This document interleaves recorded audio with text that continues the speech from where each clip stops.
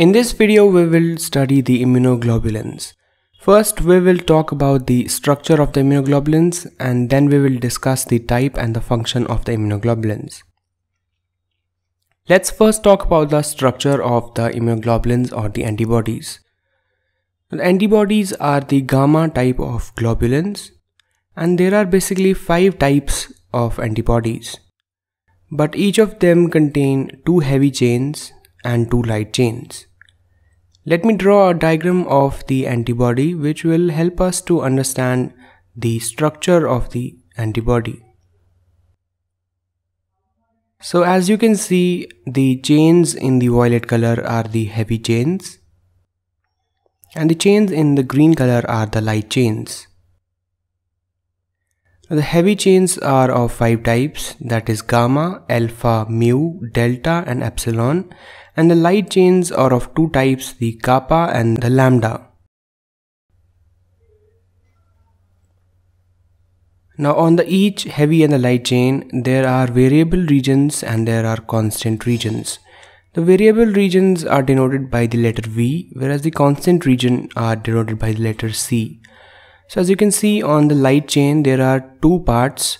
The distal wavy part is the variable region of the light chain and the proximal part is the constant region of the light chain. Similarly, the heavy chain is divided in four parts.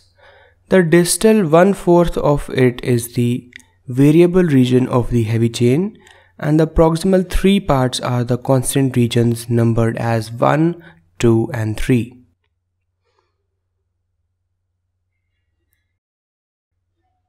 Now, the constant regions confer specific properties to the antibody. They determine on which surface will the antibody bind. For example, the IgE binds to the mast cells.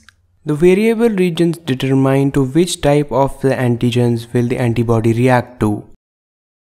The two heavy chains are bound to each other by disulfide bonds and similarly the heavy chain and the light chains are attached to each other by disulfide bonds. Now let's talk about the various types of the antibodies.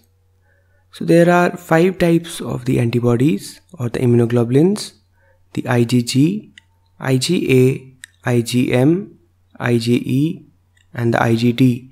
These can be remembered by the simple mnemonic GAMED.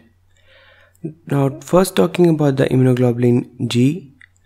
This is the most abundant type of the antibody present in the humans and it accounts for approximately 80% of the total antibodies in the blood. Now the IgG is a single unit antibody that is it only consists of a Y-shaped monomer. And the molecular weight of the IgG is 150,000.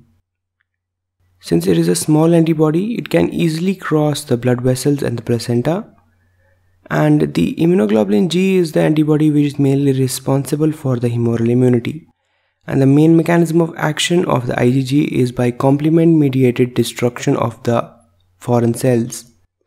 Now talking about the IgA, this uh, can exist as a single unit or a dimer.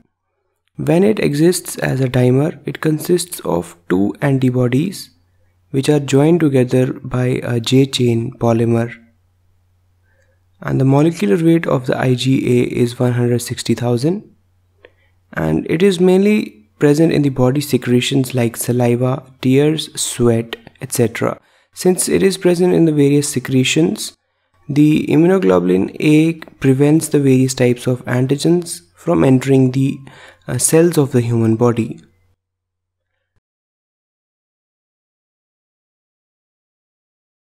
It consists of the heavy chain alpha type and the IgG I forgot to mention consists of the heavy chain gamma type.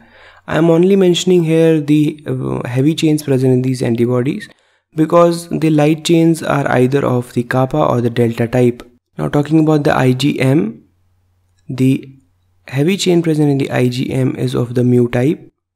The IgM is the largest immunoglobulin in the humans. It consists of 5 Y-shaped units which are joined together by a J chain.